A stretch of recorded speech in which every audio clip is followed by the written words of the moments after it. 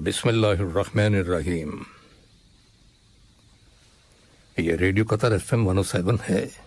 अब आप महमूद अहमद से खबर सुनिए। इब्तदा में पेश खदमत है अहम खबरों की सुर्खियाँ। साहिब अमीर से कल लोसेल पेरिस में उनके दफ्तर में खलीज की कौंसिल बरए ताउन सी के सेक्रेटरी जनरल ने मुलाकात की। साहिब इसम अमीर ने तीन ममालिक में नए सुफरा की तकर्री से मुतालिक अपने अमीरी फैसले सादर किए हैं।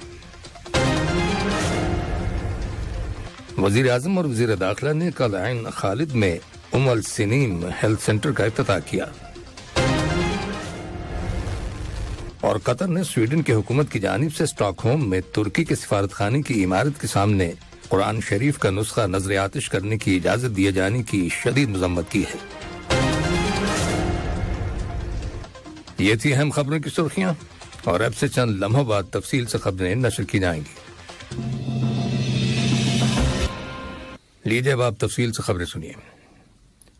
साहिबिस्म अमीर शेख तमीम बिन हमद अल्तानी ने सन 2023 का अमीरी फैसला नंबर एक जारी किया है, जिसकी रूह से मोहम्मद हसन जाबिर अल जाबिर को भारत में कतर का सफीर मुकर किया गया है।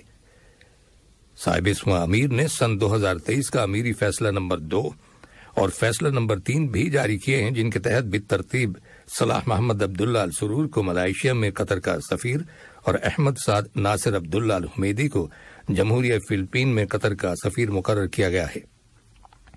इन तीनों अमीरी फैसलों पर इनकी तारीख इजरा से अमल दरामद होगा और इन्हें सरकारी गैजेट में शाये किया जाएगा। वज़ीर अजम और वज़ीर दाखिला शेख खालिद बिन खलीफा बिन अब्दुल अज़ीज़ अल तानी ने कल इन खालिद में उमल सनीम हेल्थ सेंटर का अफ्ताह किया। वज़ीर आज़म और वज़ीर दाखिला ने नए हेल्थ सेंटर का दौरा किया, जहाँ उन्हें इसकी मुख्तलिफ़ फैसिलिटीज़, सेक्शंस और मेडिकल यूनिट्स के बारे में ब्रीफिंग दी गई और मरीजों और विजिटर्स को फराम की जाने वाली मुख्तलिफ़ तिब्बी खदमात और सेहत के बारे में तफसीत से आगाह किया गया। उमल सनीम हेल्थ सेंटर को सेहत की सहूलियात और पायदारी के मैार के लिए मंजूर किए गए अला तरीन बैन अवी स्टैंडर्ड्स के मुताबिक डिज़ाइन और तामीर किया गया है। सेंटर की अफ्ताही तकरीब में मुताद वजरा और सीनियर हुकाम ने शिरकत की।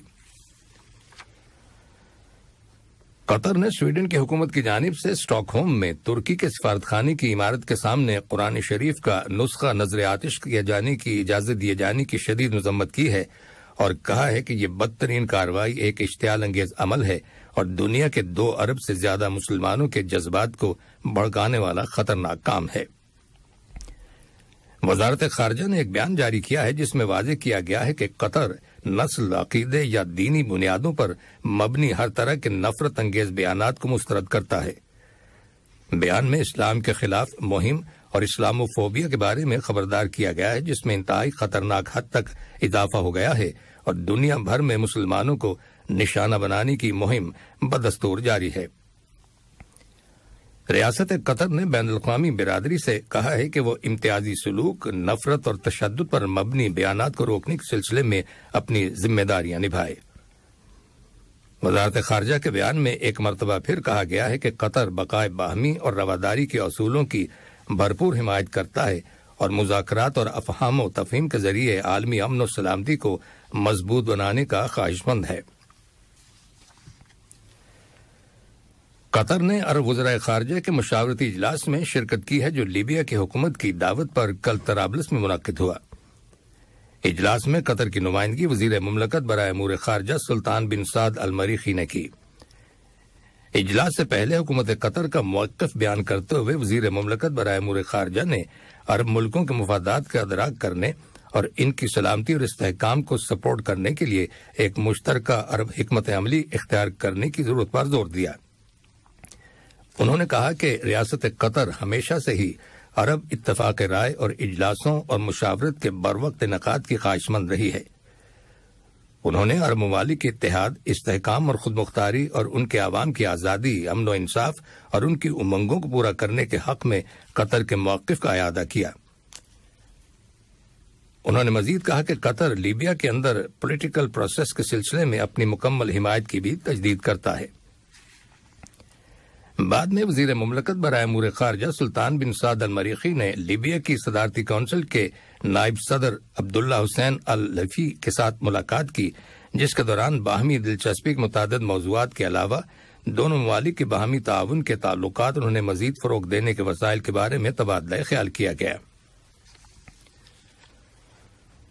वर्कर्स सपोर्ट और इंश्योरेंस फंड के बोर्ड ऑफ़ डायरेक्टर्स ने सन 2023 के लिए कल अपना पहला इजलास मुनद किया, जिसकी सदारत वज़ीर मेहनत और फंड के बोर्ड ऑफ़ डायरेक्टर्स के chairman doctor Ali bin Sami खलमर्री ने की। इजलास के एजेंडे में शामिल मुताद मौजूद पर गौर वौस किया गया और उनके बारे में फैसले सादर किए गए और सिफारशात पेश की गईं, जिनका ताल्लुक लेबर माहौल को फरोग देने और फंड की कारकर्दगी को बेहतर बनाने से है। सन 2018 के कानून नंबर 17 के तहत कायम किए गए इस फंड का मकसद वर्कर्स की मदद और उनकी देखभाल और उनके हकूक को यकीनी बनाने के साथ साथ एक सेहतमंद और महफूज लेबर माहौल फराहम करना है। कतर ने समाजी अमूर की अरवजरा की कौंसिल के बयालीसवें इजलास की सदारत संभाल ली है। कौंसिल का इजलास 25 और 26 जनवरी को दोहा में मुनद होगा, जिसके दौरान खानदानी अमूर, बच्चों के मामलात खसूसी अफराद और उम्र रसीदा लोगों के हकूक, गुरबत की रोकथाम और समाजी तहफ़ जैसे अहम मौजूद जेर बहस आएँगे। न्यूयॉर्क की कार्नेगी कारपोरेशन ने कतर की नॉर्थ वेस्टर्न यूनिवर्सिटी को आइंदा दो वर्षों में अरब इंफॉर्मेशन और मीडिया स्टडीज़ एआईएमएस के शोबे को वसत देने के लिए तीन लाख पचास हज़ार डॉलर की ग्रांट देने का ऐलान किया है। नॉर्थ वेस्टर्न यूनिवर्सिटी कतर के डीन और सीईओ मरवान क्रेडी की सरपरस्ती में अरब इंफॉर्मेशन और मीडिया स्टडीज़ प्रोजेक्ट अरब खत्े में तनकीदी मीडिया और इंफॉर्मेशन स्टडीज़ के शोबे को वजत देगा।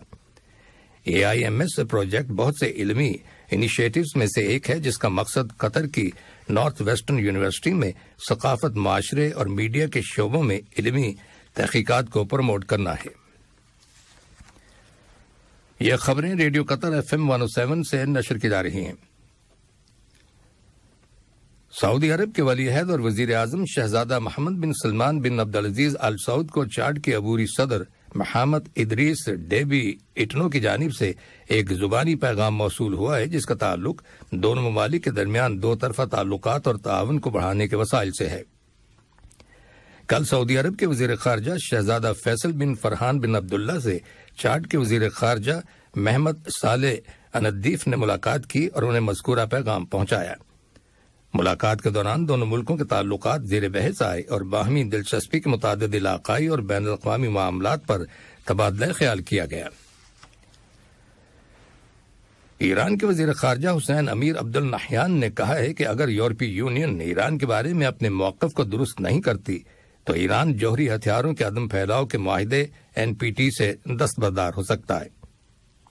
ईरान के वज़ीर खारजा ने यह बयान यूरोपीय पार्लियामेंट की जानब से ईरान के पासदारान इनकलाब को दहशत गर्दी की फहरिस्त में शामिल करने के फैसले के रद्द अमल में आया है।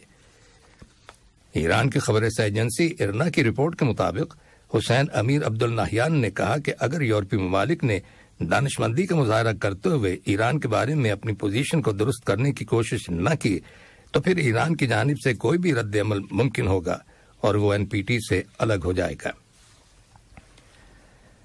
फलस्तीन की हुकूमत ने बैन अवी बिरादरी और अमरीकी हुकूमत से मुतालबा किया है कि वो मकबूजा अरब इलाके में इसराइल की जानब से की जाने वाली तमाम एक तरफा और गैर कानूनी कार्रवाइयों को रोकने के लिए ज़रूरी इकदाम करे।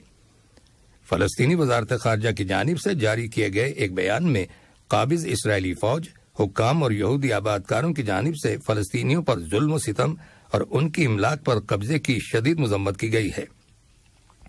फलस्तीनी वजारत खारजा ने खबरदार किया है कि इसराइली खिलाफ वर्जियों से फलस्तीनी शहरियों की जिंदगियाँ बुरी तरह से मुतासर हो रही हैं। इराक की फौज ने कल शुमाली इराक के जिला टूज में एक फिजाई हमले में दहशतगर्द तंजीम दाश के पाँच जंगजों को मौत के घाट उतार दिया। मीडिया रिपोर्ट्स के मुताबिक इस हमले के दौरान दाश के हथियारों, गोला बारूद के जखीरे और रसद का सामान भी तबाह कर दिया गया। बरतानिया के सेक्रेटरी बरए खारजा अमूर जेम्स क्लेवरली ने यूक्रेन को जदीद तरीन हथियारों की फरहमी का मुतालबा किया है और ज़ोर देते हुए कहा है कि बरतानिया इस मकसद के हसूल को यकीनी बनाने के लिए माहिदा शुमारी ओकियानूस की तंजीम नेटो के साथ मिलकर काम करता रहेगा। उन्होंने कहा है कि उनकी सबसे बड़ी ख्वाहिश यूक्रेन को जदीद तरीन टैंक फराहम करना है। यूक्रेन अपने मगरबी इतिहादी मुल्कों पर ज़ोर देता आ रहा है कि वो उसे टैंकों और फिजाई दिफाई आलात की फराहमी में तेज़ी लाएँ। और अब कुछ खबरें खेलों के बारे में। कल रैयान की टीम ने 2022-2023 सीज़न के लिए Qatar basketball U 17 final match में अलगराफा को 79 और 66 के तनासब से शिकस्त देकर कप अपने नाम कर लिया। दोनों टीमों ने शानदार खेल का मुजाहरा किया। अल रैयान के अब्दुल्ला यासीन ने बेहतरीन खेल का मुजाहरा करते हुए अपनी टीम को फतह से हमकनार किया और प्लेयर ऑफ़ द मैच का एजाज हासिल किया।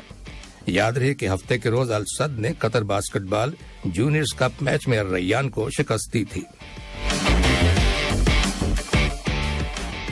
अलाहली क्लब के कोच नेब्रो जासा योवोविक ने कहा है कि क्लब 2020-2023 की सीज़न के Q N B stars league week 11 tournament में अपने पॉजिटिव रिजल्ट्स को बरकरार रखने की कोशिश जारी रखेगा। आज अब्दुल्ला बिन खलीफा स्टेडियम में अलाहली अल मरखिया की टीमों के दरमियान मैच होगा। वाजिर है कि अलाहली तेरह पॉइंट्स के साथ चौथे नंबर पर है और वो बेहतरीन परफॉर्मेंस का मुजाहरा करते हुए टॉप फोर में अपनी पोजीशन महफूज करने का इरादा रखता है।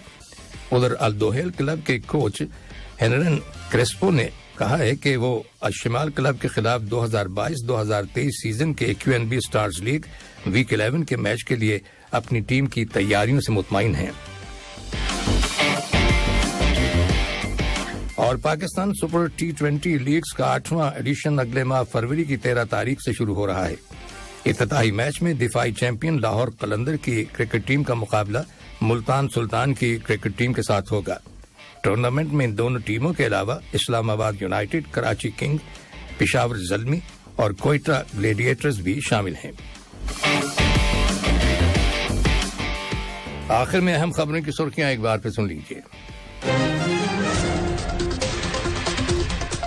साहिब आमिर से कल लोसेल पैलेस में उनके दफ्तर में खलीज की कौंसिल बरए ताउन जीसीसी के सेक्रेटरी जनरल ने मुलाकात की। साहिब आमिर ने तीन ममालिक में नए सुफरा की तकर्री से मुतालिक अमीरी फैसले सादर किए हैं। वज़ीर आज़म और वज़ीर दाखिला ने कल एन खालिद में उमल सिनीम हेल्थ सेंटर का अफ्ताह किया। और कतर ने स्वीडन की हुकूमत की जानब से स्टॉकहोम में तुर्की के सिफारत खाने की इमारत के सामने कुरान शरीफ का नुस्खा नज़र आतिश करने की इजाज़त दिए जाने की शदीद मजम्मत की है। Radio Qatar F M one seven से खबरों का आज का पहला बुलेटिन खत्म हुआ। सोशल मीडिया सेक्शन से इंतखाब आलम, स्टूडियो से टेक्नीशियन मोहम्मद हसन। मैं हूँ शेख नूर, उमल बवा की वन क्यूरियाल से। और काफ़ी दिनों से मैं सोशल मीडिया पे बहुत से वीडियो देख रहा था, बहुत से लोगों का जॉब चले गई और टर्मिनेट कर दिए हैं, मुल्क भेज रहे हैं। तो ऐसे वीडियो देख के याद आया कि अपने कंपनी में हायर कर रहे हैं लोगों को। जो भी टर्मिनेट हो गए हैं, मुल्क जाने की फिराक में हैं तो ऐसे लोग अगर कतर में होकर काम ढूंढ रहे हैं, काम चेंज करना चाहते हैं तो अपने कंपनी में हायर कर रहे हैं। मुझसे कांटेक्ट कीजिए, अगर हो सकता है आपको इंटरव्यू में पास हो जाएँगे तो हम लोग अपने कंपनी में लेंगे और चेंज भी कर लेंगे। और मुल्क जाने से अच्छा है, इधर ही होके चेंज कर लीजिए। और किसी को ज़रूरत है तो ये वीडियो उनको, आपके दोस्त वगैरह, उनको भी शेयर कीजिए, ताकि वो मुल्क जाने से अच्छा है अपने कंपनी में चेंज करके अपने यहाँ पर ही काम करें। तो ऐसे लोगों को मैं काम भी दे सकते हैं और चेंज भी कर सकते हैं। अगर टर्मिनेट हो गए हैं नो प्रॉब्लम हम अपने कंपनी में हायर करके ले लेंगे। Thank you